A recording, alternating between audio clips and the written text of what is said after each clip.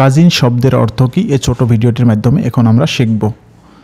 Cousin শব্দের অর্থ হচ্ছে চাচাতো ভাই বা বোন, মামাতো ভাই বা বোন, খালাতো ভাই অথবা বোন, ফুফাতো ভাই অথবা বোন। চলুন দুটো এক্সাম্পল সেন্টেন্স নিয়ে নিই।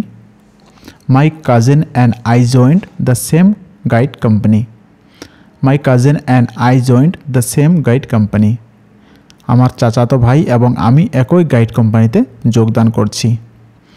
সেকেন্ড এক্সাম্পলটি হলো her cousin was very excited to visit her her cousin was very excited to visit her তার মামাতো ভাই তাকে দেখতে খুব উত্তেজিত ছিল।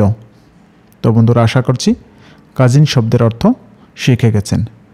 ভিডিওটি ভালো লাগলে অবশ্যই লাইক এবং সাবস্ক্রাইব করবেন। ধন্যবাদ।